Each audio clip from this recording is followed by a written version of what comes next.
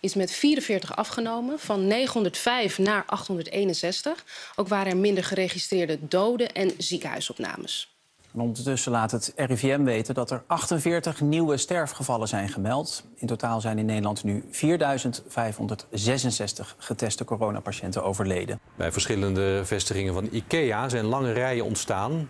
Vanaf vandaag zijn de Nederlandse filialen van het Woonwarenhuis voor het eerst in zes weken weer open. Er is op dit moment nog altijd een groot tekort aan mondkapjes in Nederland. De Nederlandse bedrijven kunnen straks een miljoen mondkapjes per week produceren. Dat is een kwart van de mondkapjes die nodig zijn voor het medisch personeel. Dit is Den Haag vandaag. Protest tegen de lockdown en tegen 5G, dat volgens velen van hen slecht is voor de gezondheid. Maar of er nou een tweede golf komt of niet, de Nederlandse IC-capaciteit moet de komende tijd flink omhoog. Om de komende jaren alle coronapatiënten te kunnen opvangen, moet het aantal bedden structureel groeien van 1150 naar 1531. Diederik, Gommers, welkom. IC-arts en voorzitter van de Nederlandse Vereniging voor Intensive Care. De druk is een beetje van de ketel, zo kunnen we het wel zeggen. Hoe gaat het met, met u en uw mensen? Nou, op dit moment hebben we nog steeds um, 850 en ruim 4, zitten we nog op 1250 um, IC-bedden die bezet zijn in Nederland. En in januari was dat 800, net iets daarboven. Dus we doen nog steeds, hebben we heel veel druk. Dus de mensen op de werkvloer, ja, die moeten nog steeds um, drie patiënten doen als één verpleegkundige. Uh, dus we zijn nog steeds niet in ons normale doen. Dus ja. uh, de, de werkdruk is hoog. Ja, dat, dat, dat is gewoon nog zo. En dat gaat misschien ook nog een tijdje zo blijven.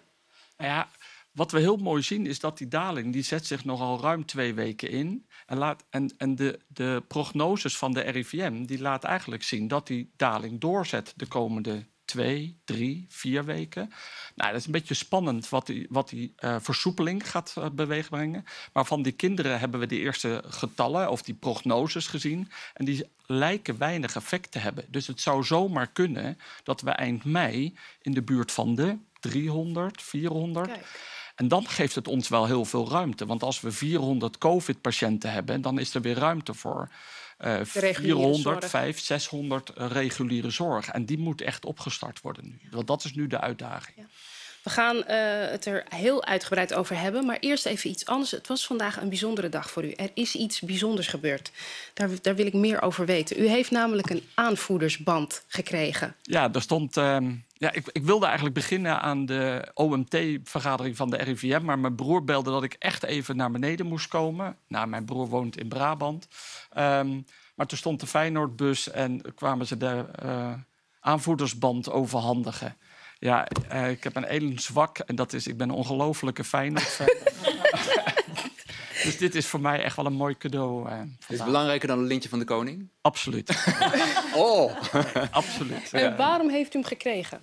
Ja, dat weet ik. Ja, er waren mensen die zeggen dat ik, no, dat, dat, dat ik het best aardig doe. Um, en, en, dat ik me goed inzet. Aanvoerder nou. van, van de intensivisten. Nou, nee, dat, je kunt bij Feyenoord kun je mensen aanbieden die misschien hiervoor in aanmerking komen. En dat hebben anderen gedaan. En ik geloof ook, ik verdenk mijn broers er ook van. Dus, uh... dat ze dat gedaan hebben. Ik vind het, als ik, wat, ik, wat ik zo bijzonder vind, het is heel hard gewerkt om, om die IC-capaciteit op orde te krijgen. Uh, het is echt, uh, ik vind het ongelooflijk wat, wat, uh, wat, wat u en uw collega's voor elkaar hebben gekregen. En dan ook nog het Nederlandse publiek zo meenemen in alle rust. na een hele lange dag, kan ik me voorstellen, zag ik hem weer aan op televisie. En me uitleggen wat er gebeurt. En mensen aanspreken en toespreken. Dus niet alleen het organiseren van het werk, maar ook een hele belangrijke rol naar de samenleving toe de afgelopen weken. Dat is gewoon, ja, die zo knap. Die, terecht zegt u. Uh, zeer, ja. zeer terecht. Ja. Gaan we even naar het plan van vandaag. Want u heeft eigenlijk gezegd, we moeten dat aantal IC-bedden opschalen naar 1500, wat was het, 31. Waarom 1531? Nou, kijk, voor mij gaat het niet precies om het getal. Hè? Want bedoel, daar zit een berekening achter en dat hebben ze samen met de LCPS, hè, dat Landelijk Coördinatiecentrum. En slimme mensen hebben daaraan gerekend. En er zitten heel veel aannames in en, en, dat, en die kun je ook weer onderuit halen. Maar wat belangrijk voor ons is, is dat als het nu een beetje rustiger gaat worden, en dan kopen we tijd en dan hebben we misschien ook een beetje tijd in de zomer. En ik wil graag die tijd gebruiken van, om met elkaar ons voor te bereiden voor misschien iets wat er in het najaar komt. Um, en wat ik belangrijk vind is dat het in maart overviel het ons. Hebben we het hele ziekenhuis nou ja, dicht moeten gooien. Alles op de IC. Nou, heel veel aandacht voor de intensive care. Maar ik zou het graag, als er een volgende uh, uh, opschaling nodig is, dan wel een beetje anders willen doen. Uh, en wat we nu willen doen is eigenlijk kijken van luister eens, kunnen we uh, gewone verpleegkundigen, misschien met extra scholing, met extra modules, dat we die beter in kunnen zetten, zodat we niet operatiekamers hoeven uh, dicht te doen zoals we het nu gedaan hebben. Nou, een soort spoedcursus deze zomer voor een aantal mensen. Ja, maar dan niet een spoedcursus intensive care, maar dat je modules, hè, want een, een verpleegkundige kan al heel veel, alleen dat je specifieke dingen die de IC-verpleegkundige doet, dat je die aan. Ja leert. En dat we daar een, een onderwijsprogramma voor in zitten. En dat we die rustige maanden, als we die krijgen, daarvoor gebruiken. Ja, dus geen vakantie, maar opleiden. Ja, maar we, we, nemen ook vakantie. Ik bedoel, ik hoop dat we zo ver dalen um, dat we ook met elkaar uh, op vakantie kunnen. Ja, u gaat ervan uit dat de komende, u gaat uit dat de komende drie jaar 37.500 mensen, coronapatiënten, op de IC belanden. Volgens de statistieken die u vandaag openbaar heeft gemaakt. Ja. Dat is nogal wat. Ja, maar dat is um, wat daarvan uitgegaan is. We denken nu ongeveer 4% is besmet. Um, hè, als we in het begin dachten, toen noemden we het, um, uh, hoe heet het? De groepsimmuniteit? Ja, uh, dat we naar 60% gaan. We hebben nu bij die 4% 2500 IC-patiënten gekregen. Uh, als je dat maal 15 doet, kom je ongeveer op die 37.500 patiënten ja. uit. Maar dat, ja. dat, betekent dat het OMT nog steeds uitgaat van die groepsimmuniteit. Dat is het scenario? Nee, nee, nee, want dat zijn uitgangspunten die wij gebruikt hebben om een schatting te maken. Want okay. het is een hele grove schatting. En het, het kan zijn dat die helemaal niet klopt. Maar ik wil gewoon goed voorbereid zijn. En dat we met elkaar de komende dagen, weken gebruiken om hierover te discussiëren. Het gaat mij niet om het getal. Nee. Maar het gaat me wel met elkaar de discussie aan te gaan. Uh, kijken wat er mogelijk is om ook het totaalplaatje, snap je? Want we moeten ook de gewone zorg en de economie moeten ook weer aan de... Ja, en de, boodschap is wel van, er moeten gewoon echt IC bij de bij de komende tijd. Dat is uw boodschap. Ja, dat is wel de verwachting. Het is heel onzeker, maar wat we misschien een klein beetje zeker weten... is dat we toch met elkaar graag wat IC-bedden erbij willen. Ja, en dan gaat u ervan uit dat er geen vaccin komt, hè? begreep ik, in deze berekeningen. In deze berekeningen is ervan uitgegaan dat er drie jaar geen vaccin komt. Komt er hopelijk eerder een vaccin, ja, dan hebben we dat niet meer nodig. Ja, dan valt het mee. Micro, microbioloog Jan Kluitmans was hier te gast afgelopen zondag. En die pleitte aan deze tafel ook voor meer, meer IC-capaciteit. Laten we daar even naar kijken.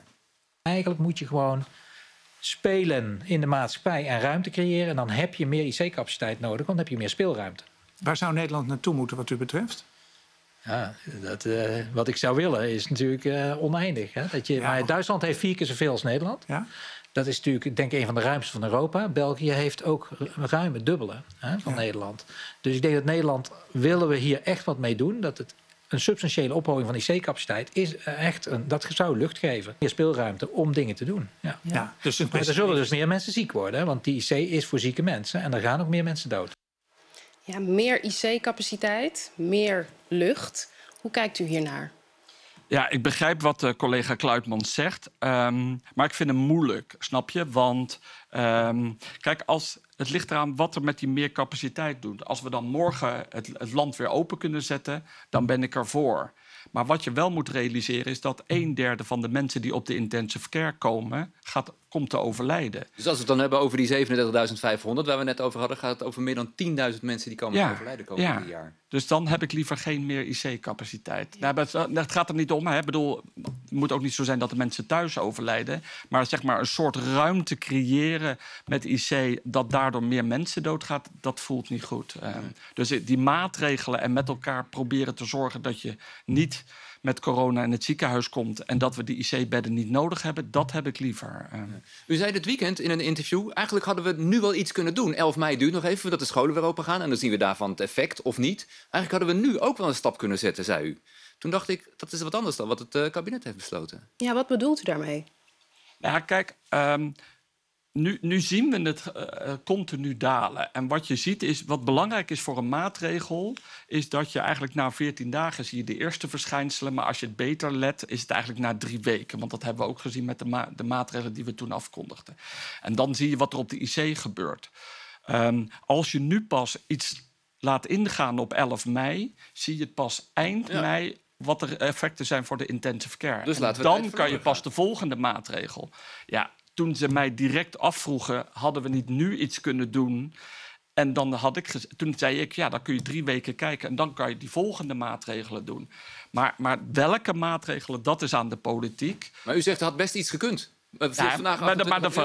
van- met ervan uitgaande dat die daling doorzet. Ja. Wat het wel moeilijk maakt, is weer dat dat reproductiegetal, die R0, die, die was aan het dalen, maar die gaat nu weer licht stijgen. Die zit weer dicht tegen de 1 aan. Dus ja, het blijft ongelooflijk moeilijk. Het is, het, is, het is echt moeilijk. Ik wil nog heel even hebben over, die, eh, over de capaciteit. Ehm, want uw collega zei dat het eigenlijk niet zozeer aan de bedden ligt, maar meer aan het personeel. Ja. En daar hadden we het net ook al over. Ja. Ehm, eh, hoeveel mensen zou u moeten omscholen zodat u met een, met een goed gevoel zit? Dat u denkt van nou, als die tweede golf komt, Nou, wat ik hoop, hè, ik heb ongelooflijk veel complimenten gekregen. En we hebben heel goed kunnen vertellen wat intensive care is. We zijn af en toe uitgemaakt voor net ook voor helden. Ik hoop dat er heel veel helden zijn die bij ons op de intensive care willen komen werken de komende jaren. Merkt u we het al? Is er belangstelling? Ja, ik merk wel dat mensen zich willen zeggen van ik heb vroeger gewerkt, ik zou graag weer eh, terug willen komen, maar die scholing is best lastig, zou er niet een al- alternatief programma? Nou, daaraan moeten we gaan werken met elkaar. We hebben eigenlijk, want we hadden al bedden gesloten, we, hebben, eh, we hadden al tekorten voor de coronacrisis. Nou, dat is door corona niet beter geworden, dus er is een groot behoefte aan IC-verpleegkundigen, maar ook aan gewone Ja, verpleegkundigen. want meneer Klaver, u zei net voor de uitzending... ik ben bang dat ik mijn secretaresse kwijtraak. Nou ja ik, ja, ik ken heel veel mensen die zich hebben eh, opgegeven, die dan wel in de zorg hebben gewerkt en nu weer hebben gezegd, zich hebben aangemeld. eh, als jullie me nodig hebben, eh, geef, me een, eh, geef me een berichtje. dat kost ook geld, gaat, hè? Ja, dit gaat over tienduizenden mensen die dat hebben gedaan. Eh, en dat kost inderdaad geld. En dat betekent dat, dat de, de, de- als je het hebt over wat zou de politiek nou moeten doen, we moeten nu zorgen dat er middelen beschikbaar komen. Dat al die mensen eh, die de zorg in wilden gaan, die hebben gezegd: hey, ik zou nu al willen helpen om te kijken, zouden we die überhaupt kunnen interesseren voor de zorg? Want of er nou weer een, een nieuwe pandemie komt of, of COVID, hè, of dat, dat zich doorzet, we zullen extra capaciteit nodig hebben. En dat vind ik het interessante van ja, de observatie eh, van de heer Goorns. Waar we, wij hebben Nederland zo efficiënt ingericht, op het minimum van het minimum tegen de laagste prijs, dat iedere rek eruit zit om, om als er iets gebeurt, om mee te kunnen bewegen. En Dus nu dan mensen komt, aannemen. Dan komt de rek komt dan uit de mensen die er al werken. Ja, dus je moet nu mensen aannemen. En, eh, maar goed, het is helemaal niet mijn vakgebied, maar ik kan me echt voorstellen dat je probeert mensen ook om te scholen. Die gaan niet altijd op de IC's werken, want laten we hopen dat we er zo min mogelijk bedden nodig hebben. Maar als het nodig is, dat ze als een soort van reservisten heel snel ingezet kunnen worden. En dat je ook je middelen beschikbaar hebt om op te kunnen schalen. Dit is het moment om mensen te werven. vraag je stellen over Duitsland. Dat is natuurlijk merkwaardig dat Duitsland een viermaal zo grote IC-capaciteit had. Maar werd die ook benut? Nee. Want dat is, je kunt, kunt vier keer grote capaciteit, maar als die voor 60% benut wordt, dan staat 40% permanent leeg. Behalve in, in crisissituaties als de huidige. Ja, in Noord-Rijn-Westfalen, hè, waar, waar we een aantal patiënten naartoe gegaan zijn, waren er 4000 bedden. Ik heb het niet gezien wat voor bedden dat dan zijn, maar er waren er maar 1000 in gebruik. Ja, en, en het heeft geen zin om heel veel IC-bedden te maken waar, waar geen patiënten liggen, want dan is het ook geen leuk werk om Nee, te doen. bovendien is uw aanname natuurlijk dat er geen vaccin is tussen nu en drie jaar. Want dat lijkt mij een heel pessimistische analyse. Ja, ik hoop, ik hoop dat ik ge- ongelijk krijg. Maar er zijn, er zijn infectiologen die zeggen dat het best lastig zal zijn om een goed vaccin te maken. Ehm, Maar volgens mij moeten we ons ook niet, niet alleen blind staren op dit virus. Volgens mij hebben we gezien wat er kan gebeuren. En we weten eigenlijk dat dit soort virussen zich steeds meer ontwikkelen. En dat een pandemie, dat het ons kan overkomen. dus daar en moeten we daar moet je rekening mee überhaupt... houden, Dat wil je niet nog u keer. maakt een redelijk opgeruimde indruk. Uh, Heeft, was dat ook toen u vandaag de foto's van de IKEA zag? De ik rijen heb ze voor... niet gezien. eh. Oh, nou ja, Koningsdag gisteren. Bleef u ook eh, rust- Dit is de rij bij de IKEA. Een van de rijen bij de IKEA. Er waren er veel meer. Eigenlijk vra- eigenlijk vragen Die we- verdienen ook dat ze besmet worden. Sorry. Sorry Maarten, wat zeg je?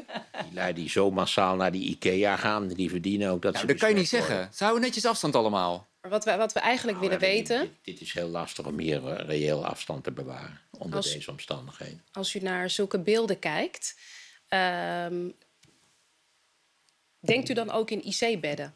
Snapt u mijn vraag? Kijkt u ernaar en denkt u van nou, Ja, maar, maar ehm, ik ben heel blij toen wij eh, zo hard stegen en dat er, toen we het bijna het einde naderden, toen was ik echt gespannen. Nu dat, het, dat er ruimte komt en ik zie dit gebeuren, denk ik: oké, we moeten ook verder leven. Dus we zullen hiermee om moeten gaan. En, ik, en we zien nu alleen nog steeds een daling. Ja. En dit kan natuurlijk zijn dat we over twee weken dat het een beetje los, omdat IKEA open is gegaan, dat we weer een toename zien. Nou, dat zou wel heel veel details zijn. Ja. Ehm, maar ja, we moeten, ook, we moeten het leven ook wel weer oppakken. Dus ja, we gaan zien met z'n allen wat er gebeurt. Maar Ja. ik bedoel, alleen maar thuis blijven zitten, dat kan, ook, niet. Nee, mevrouw Huijer, het vergt zelfdiscipline van ons hè, om, om eh, nou ja, goed met deze situatie om te gaan. U schreef een boek over zelfdiscipline.